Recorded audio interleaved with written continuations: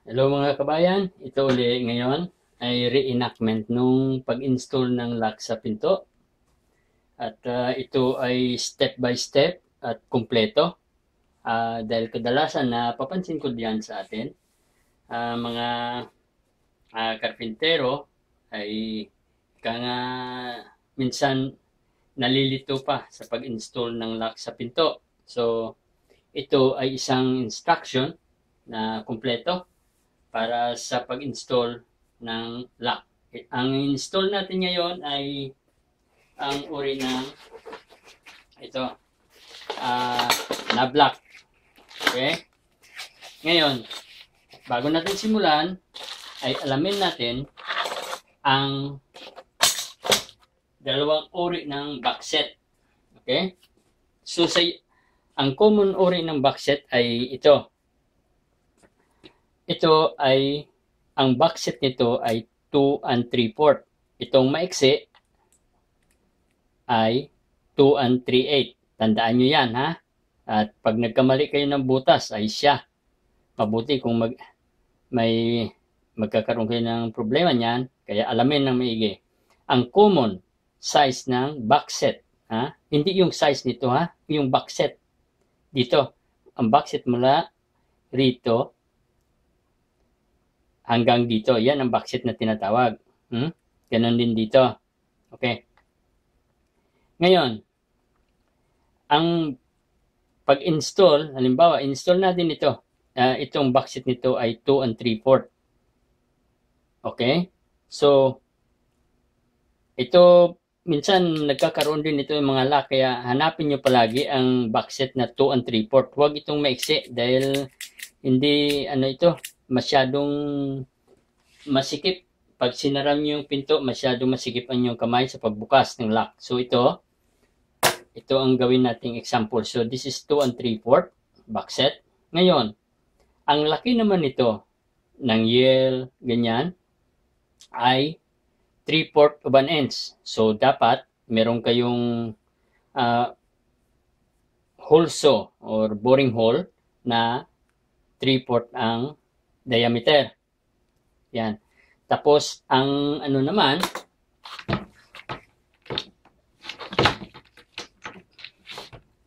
ang sa knob naman, yan ha, ah, ay 2 and 1 8 diameter.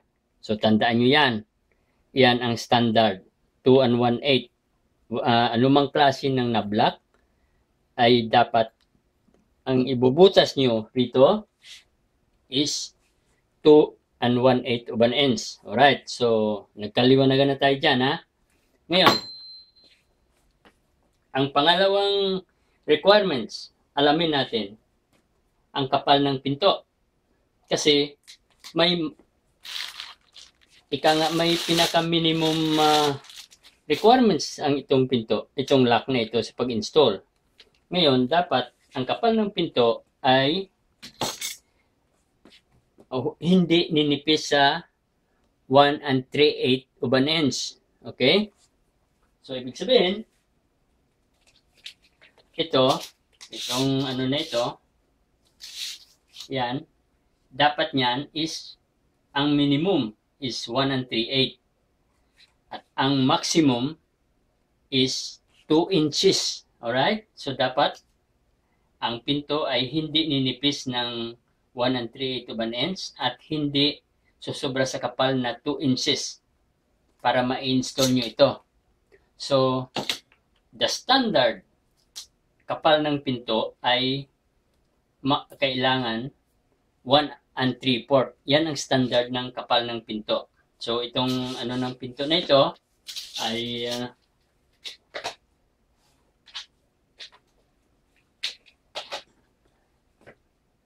ang kapal ng pinto na ito ay 1 yeah this is 1 and 3 8 so this is the uh, minimum uh, thickness of the door. Alright? So okay. Ngayon alam na natin yung uh, kapal ng pinto. So, pwede ito dahil ito 1 and 3 8. Ngayon naman, ang ika nga distance ng pagkabit ng na block sa standard size. Okay? Ang standard size ay mula rito sa flooring na ito ay sumukat ng ang standard size is 1 meter. 1 meter yan ha. So, isang metro. Or 39 and 1 half inches. So, yan, tandaan niyo yan. Ngayon, sa mga ano naman, sa mga oversize na, gaya niyan, mga pinto ng Amerikano, so, minsan umaabot sila ng uh, 1 meter and uh, 5 centimeter. So, ibig sabihin, 105 uh, centimeter ang sa American size. Sa ating mga Pilipino is 1 meter. Tama na. So, ganito. Tandaan natin yan. Ngayon, natandaan na natin ang taas. Kung may eskwela kayo, eskwelahin, eskwelahin nyo yan. Yan, ha? Ganyan.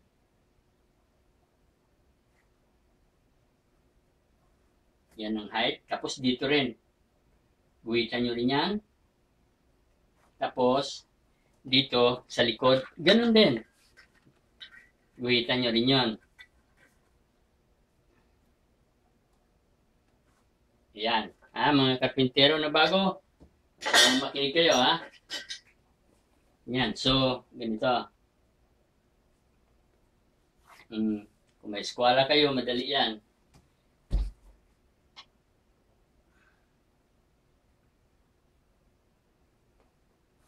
Ayan. So, nakuha na natin ang height. Ngayon, ang tinatawag naman na backset. Ngayon, ito, gaya na sabi ko, ito ay, ang backset nito ay 2 and 3 4 Huwag yung, ano ha, hindi, ang 2 and 3 4 hindi ibig sabihin na ito na yung, ano nito, yung haba. Hindi. 2 and 3 fourth yan. Mula rito hanggang sa bubutasin mo. Ganon. So, kukuha tayo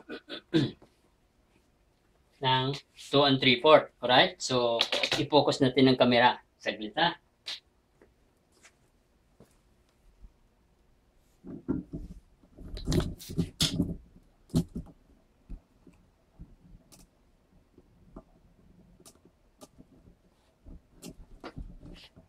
Ayan.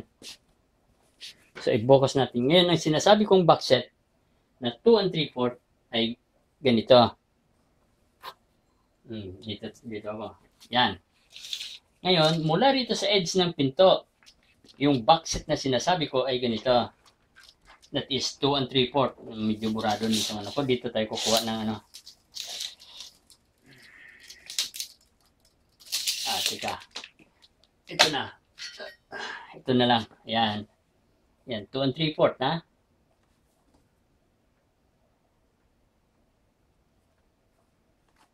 So, 1 inch, 2 inch, 2 and 3 fourth. So, dito yon Ito ang 2 and 3 fourth niyan.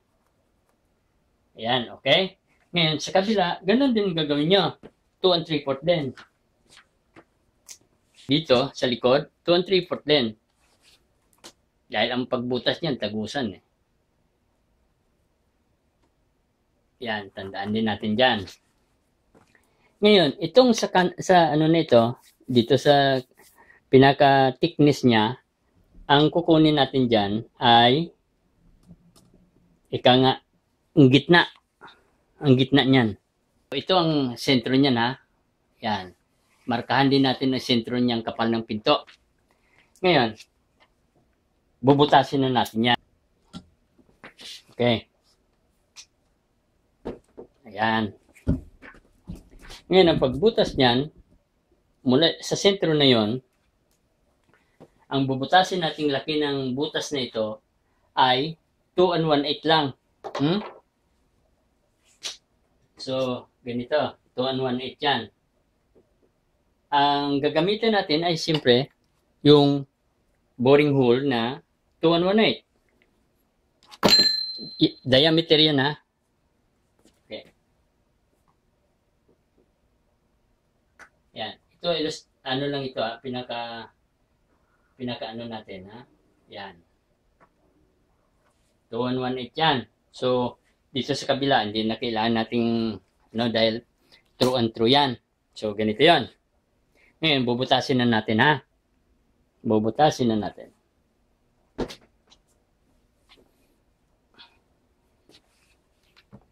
So, gamitin natin ang boring hole na 2 and 1 8. Yan, para madaling trabaho.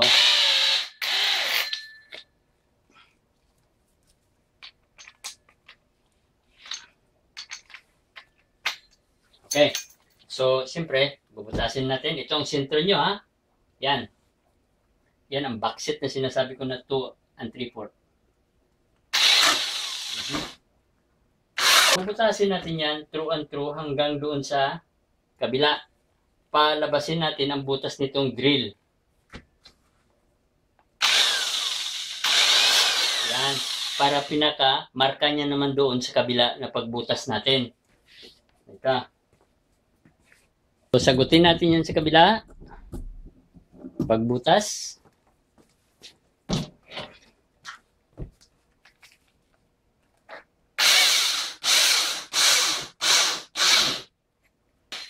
Okay. Okay, ang dahilan kung bakit pagbutas natin dyan ng kalahati ay sagutin natin dito sa kabila para hindi ibig sabihin balbon ang labas noong ah nung butas natin. So, okay. So, this is, so, ganyan ang mag- kalalabasan ngayon ng pinto natin. Pag nabutasan natin true and true, itong unahin natin butas. Okay? So, ang sunod nating bubutasan ay itong edge ng pinto. Yan, itong edge ng pinto. Ang ibubutas naman natin dyan ay ang 3-4 of an inch dahil ang diameter nitong latch bolt ay 3-4. Alright? 3-4 ang diameter nito. So, 3-4 na, ano, na boring hole ay yan ang gagamitin natin para sa pagbutas niyan. So, ganoon. Butasan natin. Palitan natin yun ng holso na ito ng 3-4. Okay. Alright.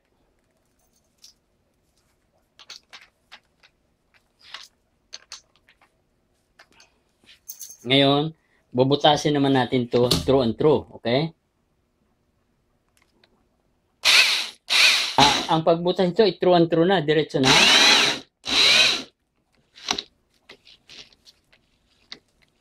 Alright, so yan, butas na. Ngayon, ang ano naman natin, edi tapos na tayo dyan sa pagbutas, tapos na rin tayo rito. Ngayon, ang gagawin natin ay ang paglagay ng latch bolt una. So, ang bukas ng pinto, di, ang pinto na ito ay left hand. So, ganito yung paglagay natin na lock niyan. Yan. Okay. Ngayon, kailangan ibabaon natin itong latch bolt na ito, itong ano nito, yung plate niya, maibabaon natin na naka-plus dito sa pinto na ito. So, dapat ay guhitan natin yan. Yan. So, ibabaon natin yan halos mga 1/8 o 1 inch lang.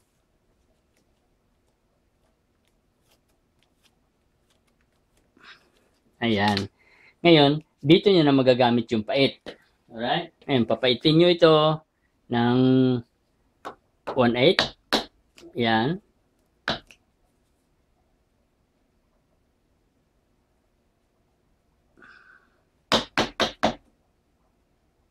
Ayan. Ingat kayo sa pagpait dito sa gilid para wag uh, ika nga ma mapigtas ay yung kabuhan noon. Maganda kasi tingnan na may kunting e aging itong latch bolt na ito. Tapos natin nakuha na yan. So, kunin. Okay. So, pagkatapos natin ngayon na ma ano yung latch bolt na yan, mapait natin yan, lagyan natin ng dapat may ano yan, may may edge yan. Pangit naman yung tapyasan mo lahat yan tapos uh, flat din ito. Maganda yung mayroon siyang ikang aging paligid, okay? So, ito ang gawin natin. Ngayon, ikabit na natin ang latch bolt. Una, yan. Yan, ganyan.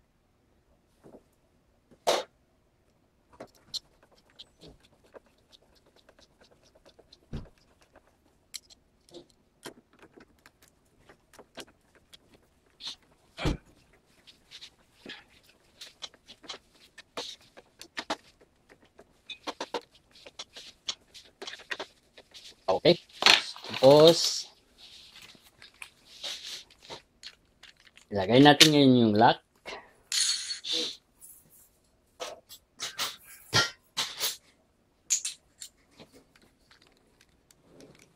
Tanggalin natin itong inner knob.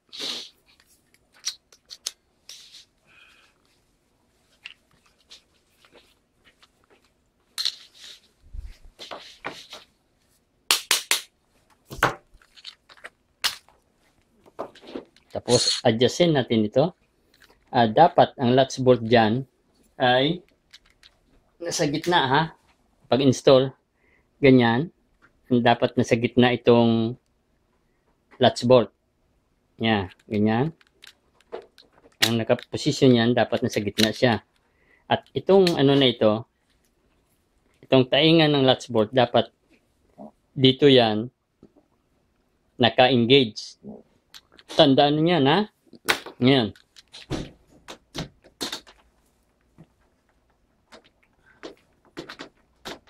Yan. Dapat tingnan natin kung naka-engage siya rito. Tapos, dapat nasa gitna siya. Ngayon, adjustin naman natin ito. Kung hindi siya nasa gitna, itong adjustment. Yan. Yan. Pag nakita natin sa gitna na siya, ilagay na natin ngayon yung rose. Ito, any rose ang tawag nito. Dito natin ilagay. Kabila ngayon. I-focus natin yung camera dito banda naman sa loob. Para malinaw sa inyo. Yan. Ganyan. Ngayon, ganyan yan. Tapos, ilagay natin yung dalawang screw na kasama niyan. Yun ang tinatawag na itong screw na ito, ang tinatawag ang tawag dito ay retaining screw. Hmm? Okay? Yan mo yan dito sa taas. Ayan. Tapos,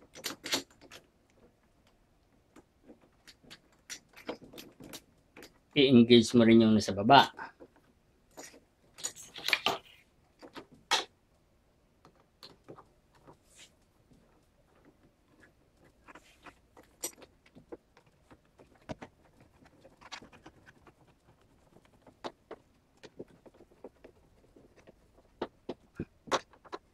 Yan. Ngayon, dapat testingin nyo ha, kung pag inikot nyo ito ay sumasama itong dashboard. Yan, sumasama siya. Okay. So, pwede nyo na ngayon ma-install yung cover ng inner rose.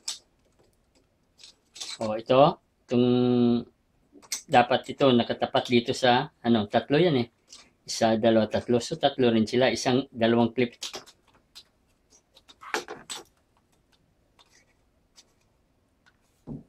Yan. Okay. Ngayon, susunod nyo ngayon yung knob. Ngayon, ito, mayroong gatla yan. Dito yan sa gatla rin na mahaba. Para may saksak nyo na maigi. Hmm? Hmm. Ito minsan, maluwag.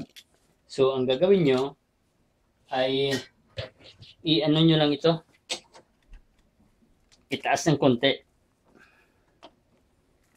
Para mag-lock siya dito sa ano. Kasi minsan nakalubog yan eh. Hmm. Hmm. Okay. So, yan ngayon. Ngayon, pagkatapos niyan, ang ikakabit nyo naman ay yung ano doon, yung latscats na sinasabi. Yung latscats naman. So, yan ngayon. Yan. May nakakabit na dyan eh. Ngayon, yun naman ngayon, pag naisara natin yung pinto na yan, halimbawa, itong latch bolt ng lock, naisara natin ganyan, yan, ganyan. Ngayon, i-determine natin yung distansya nito. So, ang lock noon gaganon. Hindi pa nakaano yan. So, anuhin natin yung distansya ito dito. Yan. Sa edge na ito.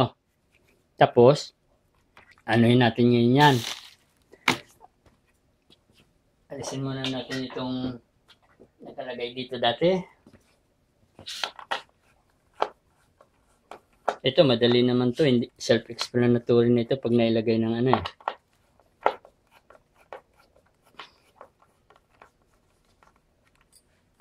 Yan. Siyempre, yan, wala pong butas yan sa original. So, ganon. Ngayon, itapat natin na itong ano na ito, yung secondary ano anti-prying bolt na yan, dapat nakaganon yun. Huwag yung huwag ito ibaon lahat ito lahat, ha? Ito lang. Para ibig sabihin, anuin man siya ng screwdriver sa labas, hindi siya ma itutulak. Kasi pag uh, na, buo yan, may tutulak siya sa labas, ganyan, no? Pero pag ito naka-depress dito, hindi siya matutulak. Ganyan ang style niyan. So, halimbawa, yan, nakaganyan, markahan nyo yan, ibaon nyo ito, ang kapal nito, dito sa hamba. Tapos, ang karagdagan na lalim dito ay papaitin nyo yan. Kung anong kapal nito, siya rin ang lalim niyan. Ganon.